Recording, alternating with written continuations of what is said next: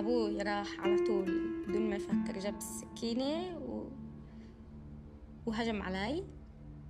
لحظات تهز المشاعر والقلوب عن ظاهرة قاسية تنهش في حياة المجتمع العربي.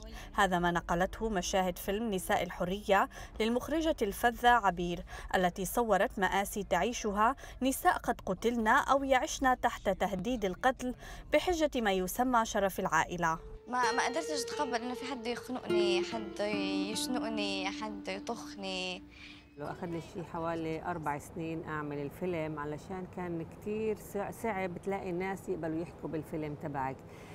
تلاقي الناس اللي يقبلوا يحكوا عن التجارب تاعونهن اللي هن مروها يعني تعرضوا لمحاولات للقتل. قلت لك زي ما بكيتني دم رح تبكي دم. قلت لك الله بينساش حد تنغمس عبير في قضايا العنف ضد النساء في صناعتها للأفلام فكانت تجربتها السابقة لفيلم مثير ومأساوي أيضا. سلطت فيه الضوء على نساء تعرضن للاعتداءات الجنسية. كنت أهرب كنت هيك كنت أخاف من كيف بتطلع علي كنت أخاف من كيف بتعامل معي. تتعاملي مع هاي المواضيع. يعني هي يعني عملان الفيلم الأولاني كان إشي بطور المستحيلات. كان إشي كتير كتير كتير كتير كتير صعب. إيه بس إذا إحنا لازم بدنا نغير ولازم نغير ولازم نغير المجتمع ولازم نغير كتير أفكار وأفكار نمطية موجودة عاد لازم نعمل هاي الأفلام.